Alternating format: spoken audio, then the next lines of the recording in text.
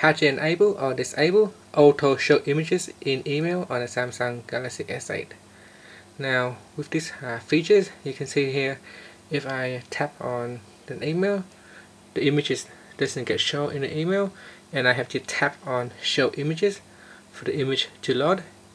So the reason why uh, it has been disabled is because uh, it has been designed to save mobile data. So if you don't have a big or large mobile data plan then uh, it's good not to uh, download images until you actually want, really want to uh, load up the images in the email so that it can save mobile data. If you have a lot of data on your phone plan you can set your email to automatically download the images and that will save you a bit of time. First tap on the home key to go back to your home screen and then tap on apps. Tap on email. From here from the inbox screen tap on the menu key and choose settings. Tap on the settings icon. Next tap on an account that you want to change. And then tap on show images. Tap on the switch to enable or disable this feature.